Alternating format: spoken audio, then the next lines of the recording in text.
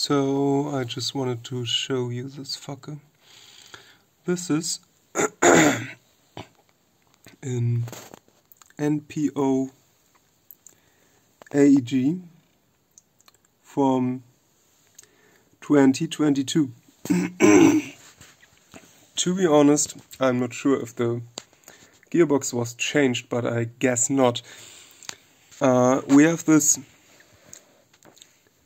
beautiful barrel just swinging around a little bit. You have this dust cover.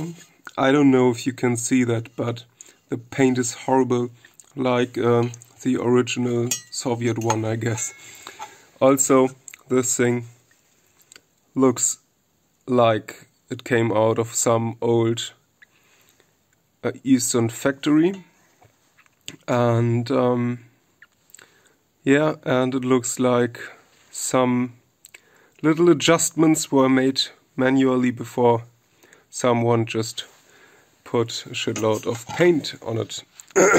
this thing no one has ever worked on anyway.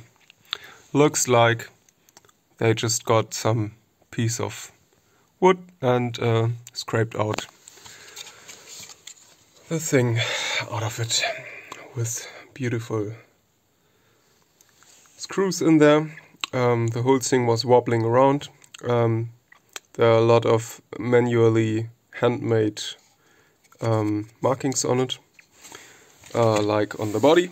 There's also one. I'm not sure if this was made uh, by the guy who owns it, but it's um, like maybe you can see it. Um, this is like made in handmade engraving. Uh, yeah. This here is like an absolute fuckery. This is terribly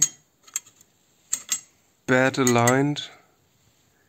Don't know if you can see that.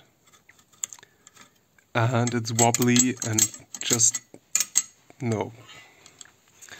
This is an LCT hop chamber and this is because there is an LCT gearbox in it. And a freaking bad one